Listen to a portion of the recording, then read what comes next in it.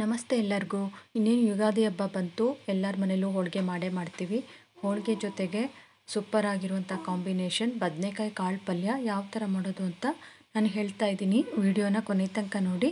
Skip ಮಾಡಬೇಡಿ, ಹೊಸ್ದಾಗಿ channel ನೋಡ್ತಾ ಇದ್ದರೆ ಪ್ಲೀಸ್ ನಮ್ಮ ಚಾನಲ್ಗೆ ಸಬ್ಸ್ಕ್ರೈಬ್ ಆಗಿ ನಮ್ಮ ಚಾನಲ್ಗೆ ಸಪೋರ್ಟ್ ಮಾಡಿ. ತುಂಬ ಚೆನ್ನಾಗಿರುತ್ತೆ ಹೋಳಿಗೆ ಜೊತೆಗೆ. ಹೋಳಿಗೆ ಸ್ವೀ ಸಿಹಿಯಾಗಿರುತ್ತೆ, ಈ ಪಲ್ಯ ಖಾರ ಖಾರವಾಗಿರುತ್ತೆ ಹೋಳಿಗೆ ಜೊತೆಗೆ ಸೈಡ್ ಡಿಶ್ ಆಗಿ ಯೂಸ್ ಮಾಡ್ಬೋದು. ಎಲ್ಲರ ಮನೇಲೂ ಈ ಪಲ್ಯ ಮಾಡೇ ಮಾಡ್ತಾರೆ. ಈ ಮೆಥಡಲ್ಲಿ ಒಂದು ಸಲ ಟ್ರೈ ಮಾಡಿ. ಫಸ್ಟು ನೋಡಿ ನಾನು ಕಡಲೆಕಾಳು ನೆನೆಸೋದಕ್ಕೆ ಇಟ್ಟಿರ್ತೀನಿ. ಒಂದು ಫೋರ್, ಫೈವ್ ಅವರ್ಸು ನೆನೆಸ್ಬೇಕು ಕಾಳನ್ನು. ಅದಾದಮೇಲೆ ಒಂದು ಜಾಮೂನ್ ಬಟ್ಲಲ್ಲಿ ಒಂದು ಬಟ್ಲಷ್ಟು ಕಾಳು ತೊಗೊಂಡಿದ್ದೀನಿ. ನೆಂದಿರೋ ಕಾಳನ್ನು ಕುಕ್ಕರ್ಗೆ ಹಾಕಿಬಿಟ್ಟು ನೀರು ಹಾಕಿ ಒಂದು ಸ್ವಲ್ಪ ಉಪ್ಪು ಹಾಕಿದ್ದೀನಿ.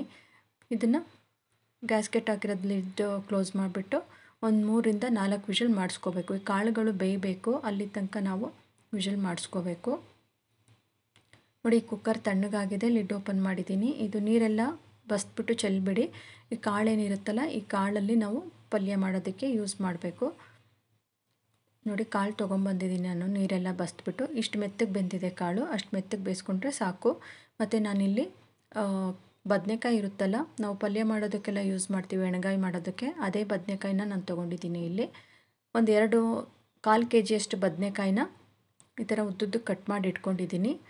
ನೀರಲ್ಲಿ ಹಾಕ್ಬಿಟ್ಟು ಉಪ್ಪು ನೀರಲ್ಲಿ ಹಾಕಿಡಬೇಕು, ಬದನೆಕಾಯಿ ಕಪ್ಪಾಗಲ್ಲ ಮತ್ತು ಇಲ್ಲಿ ಮಸಾಲ ಮಾಡ್ಕೋಬೇಕು ಅದಕ್ಕೆ. ಅದು ಯಾವ ಥರ ಮಾಡೋದು ಅಂತ ಹೇಳ್ತಾ ಇದ್ದೀನಿ. ಒಂದು ಅರ್ಧ ಹಿಡಿಯಷ್ಟು ಕೊತ್ತಂಬರಿ, ಒಂದು ಐದರಿಂದ ಆರು ಹಸಿಮೆಣ್ಸಿನ್ಕಾಯಿನ ಹಾಕ್ತಾಯಿದ್ದೀನಿ ಒಂದು ಸ್ವಲ್ಪ ಕರಿಬೇವಿನ ಎಲೆಗಳು. ಮತ್ತು ಇದಕ್ಕೇ ನಾನು ಒಂದು ಬೆಳ್ಳುಳ್ಳಿ ಹಾಕ್ತಾ ಇದ್ದೀನಿ. ಒಂದು ಐದರಿಂದ ಆರು ಇದೆ ಬೆಳ್ಳುಳ್ಳಿ. ಜಾಸ್ತಿ ಹಾಕೋದಕ್ಕೆ ಹೋಗ್ಬೇಡಿ. ಒಂದು ಐದು ಹಾಕಿದ್ರೆ ಸಾಕು. ಮತ್ತು ಶುಂಠಿ ಒಂದು ಇಂಚಷ್ಟು ಹಾಕಿದ್ದೀನಿ. ಹಸಿ ಶುಂಠಿ. ಒಂದು ಅರ್ಧ ಈರುಳ್ಳಿ ಹಾಕಿದ್ದೀನಿ ರುಬ್ಬೋದಕ್ಕೆ. ಮತ್ತು ಇದಕ್ಕೇ ನಾನಿವಾಗ ಕೊಬ್ಬರಿ ನೋಡಿ. ಒಂದು ಇಪ್ಪತ್ತರಿಂದ ಇಪ್ಪತ್ತೈದು ಪೀಸ್ ಇದೆ. ಇದು ಹಸಿಕಾಯಿ. ಸ, ಈ ಥರ ಸಣ್ಣದಾಗಿ ಹೆಚ್ಚಿಬಿಟ್ಟು ಹಾಕ್ತಾಯಿದ್ದೀನಿ ನಾನು. ತುರಿದಿಲ್ಲ. ನೀವು ಬೇಕಾದ್ರೆ ತುರಿದಿರೋ ಹಸಿಕಾಯಿನೂ ತು, ಸೇರಿಸ್ಬೋದು. ಒಂದು ನಾಲ್ಕು ಸ್ಪೂನಷ್ಟು ಹಾಕಬೇಕಾಗುತ್ತೆ. ಜೀರಿಗೆ ಒಂದು ಸ್ಪೂನಷ್ಟು ಹಾಕಿದ್ದೀನಿ. ಇದಿಷ್ಟನ್ನು ಹಾಕ್ಬಿಟ್ಟು ನಾವು ಲಿಡ್ ಕ್ಲೋಸ್ ಮಾಡಿ ಫಸ್ಟು ಪಲ್ಸಲ್ಲಿ ಮಾಡ್ಕೊಂಬರ್ತೀನಿ ನಾನು ಇದನ್ನು. ನೋಡಿ ಈ ಥರ ಪಲ್ಸಲ್ಲಿ ಆಗಿದೆ ಯಾಕೆಂದರೆ ನಾನು ಕಾಯಿ ಕಟ್ ಮಾಡಿ ಹಾಕಿರ್ತೀನಲ್ಲ, ಅದಕ್ಕೆ ಪಲ್ಸಲ್ಲಿ ಮಾಡಿದ್ರೆ ಬೇಗ ಸಣ್ಣ ಆಗುತ್ತೆ ಅಂತ ಈ ಥರ ಮಾಡಿ ಸ್ವಲ್ಪ ನೀರು ಸೇರಿಸಿ ಮತ್ತು ಸಣ್ಣದಾಗಿ ಪೇಸ್ಟ್ ಮಾಡ್ಕೋತೀನಿ ಅದನ್ನು ನಾನು ಮಸಾಲನ. ಇಲ್ಲಿ ಬಾಣಲೆ ಕಾಯ್ದು ಇಟ್ಟಿದ್ದೀನಿ ಪಲ್ಯ ಮಾಡೋದಕ್ಕೆ ಒಗ್ಗರಣೆ ಹಾಕೋದು ತೋರಿಸ್ತಾ ಇದ್ದೀನಿ ನಾನು ನಿಮಗೆ. ಒಂದು ಮೂರಿಂದ ನಾಲ್ಕು ಸ್ಪೂನಷ್ಟು ಒಳ್ಳೆಣ್ಣೆ ಹಾಕ್ತಾಯಿದ್ದೀನಿ ಒಳ್ಳೆಣ್ಣೆ ಚೆನ್ನಾಗಿ ಬಿಸಿ ಆದಮೇಲೆ ಇದಕ್ಕೆ ಸಾಸಿವೆ ಹಾಕಬೇಕು. ಒಂದು ಸ್ವಲ್ಪ ಕರಿಬೇವಿನ ಎಲೆಗಳನ್ನು ಹಾಕ್ತಾಯಿದ್ದೀನಿ ಮತ್ತು ಒಂದು ಈರುಳ್ಳಿ, ಒಂದು ಟೊಮೊಟೊ ಈ ಥರ ಈರುಳ್ಳಿನ ಉದ್ದುದ್ದು ಕಟ್ ಮಾಡಿದ್ದೀನಿ. ಒಂದು ಟೊಮೊಟೊನ ಸಣ್ಣದಾಗಿ ಕಟ್ ಮಾಡಿದ್ದೀನಿ.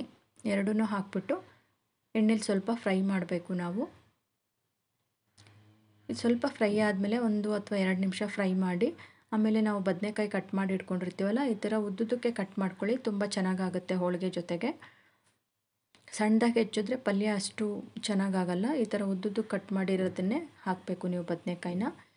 ಅಷ್ಟು ಬದನೆಕಾಯಿನ ಹಾಕಿಬಿಟ್ಟು ಮಿಕ್ಸ್ ಮಾಡಬೇಕು. ಎಣ್ಣೆಲಿ ಒಂದು ಸ್ವಲ್ಪ ಫ್ರೈ ಆಗಬೇಕು ಇದು ಬದನೆಕಾಯಿ. ತಕ್ಷಣ ನೀರು ಹಾಕ್ಬಿಡ್ಬೇಡಿ, ಒಂದು ಸ್ವಲ್ಪ ಫ್ರೈ ಆಗಲಿ ಎಣ್ಣೆಲಿ, ಒಂದು ಐದು ನಿಮಿಷ ಲಿಡ್ ಕ್ಲೋಸ್ ಮಾಡಿಬಿಟ್ಟು ಉಪ್ಪು ಹಾಕ್ತಾಯಿದ್ದೀನಿ ರುಚಿಗೆ ಎಷ್ಟು ಬೇಕೋ ಅಷ್ಟು ಉಪ್ಪು ಹಾಕಿ, ಯಾಕೆಂದರೆ ನಾವು ಕಾಳು ಬೇಯಿಸೋದಕ್ಕೆ ಉಪ್ಪು ಹಾಕಿರ್ತೀವಿ. ಉಪ್ಪು ಒಂದು ಸ್ವಲ್ಪ ಕಡಿಮೆನೇ ಹಾಕಿರಿ. ಒಂದು ಕಾಲು ಸ್ಪೂನಷ್ಟು ಅರಿಶಿನ ಹಾಕ್ತಾಯಿದ್ದೀನಿ ಉಪ್ಪನ್ನು ನೀವು ಕೊನೆಗೆ ನೋಡಿಬಿಟ್ಟು ಚೆಕ್ ಮಾಡಿ, ಬೇಕಂದರೆ ಇನ್ನೊಂದು ಸ್ವಲ್ಪ ಆ್ಯಡ್ ಮಾಡ್ಬೋದು. ಮತ್ತು ಒಂದು ಸ್ಪೂನಷ್ಟು ಸಾಂಬಾರು ಪುಡಿ ಹಾಕ್ತಾಯಿದ್ದೀನಿ ನಾನಿಲ್ಲಿ. ಖಾರದ ಪುಡಿ ಹಾಕಲ್ಲ, ಯಾಕೆಂದರೆ ಹಸಿಮೆಣ್ಸಿನ್ಕಾಯಿನ ರುಬ್ಬೋದಕ್ಕೆ ಹಾಕಿರ್ತೀನಿ.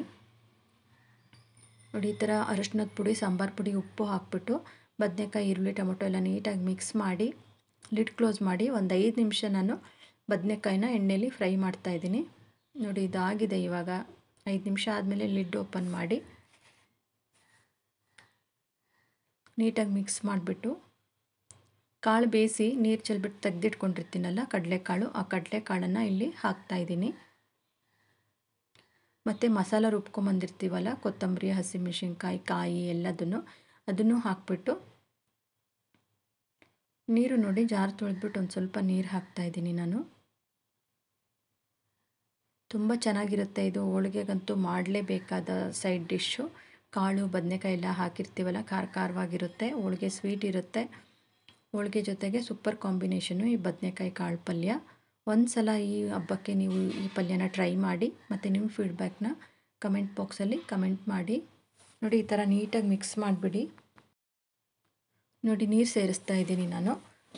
ಇದು ಬೇಯಿಸಬೇಕು ನಾವಿವಾಗ. ಒಂದು ಹದಿನೈದು ನಿಮಿಷ ಹೈ ಫ್ಲೇಮಲ್ಲಿ ಬೇಯಿಸ್ಬೇಕಾಗತ್ತೆ.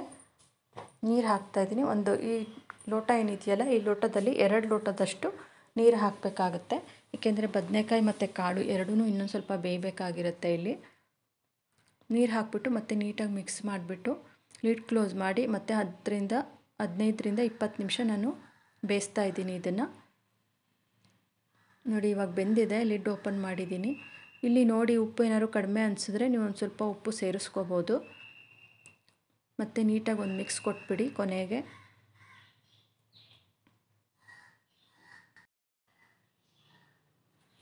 ನೋಡಿ, ಪಲ್ಯ ರೆಡಿಯಾಗಿದೆ ಇವಾಗ.